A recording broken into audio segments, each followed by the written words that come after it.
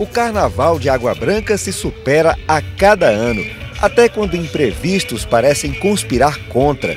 Dez e meia da noite, trio elétrico e banda prontos, foliões ansiosos pelo início do percurso. De repente, cadê a luz? Um apagão deixou a cidade inteira às escuras. Detalhe insignificante para quem se preocupava apenas com a diversão.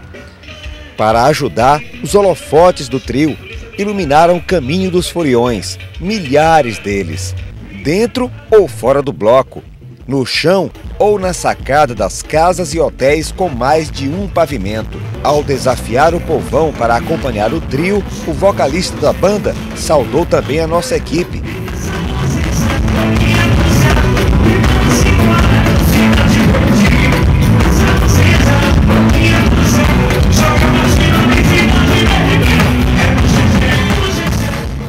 Já passava da meia-noite e quase no final do percurso na Avenida João Ferreira, tudo voltou a clarear.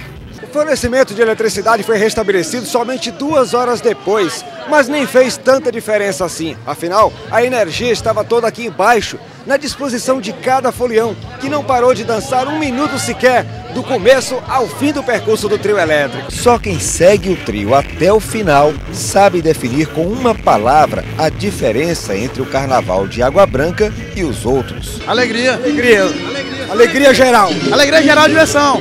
Alegria que reúne multidões na pista ou nos 22 camarotes que proporcionam visão privilegiada, que gera receita para o município, supera adversidades. O carnaval aqui sempre se destacou.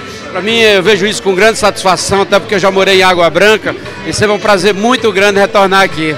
Todo mundo relevou a falta de energia e caiu na folia, né? O carnaval de Água Branca é uma coisa assim que contagia, né? E a prefeitura se sente muito satisfeita porque o investimento que tem um retorno para a cidade. É o comércio, é. Todo mundo fatura, né? Então, eu acho que. E projeta a cidade no cenário piauiense, que isso é muito importante.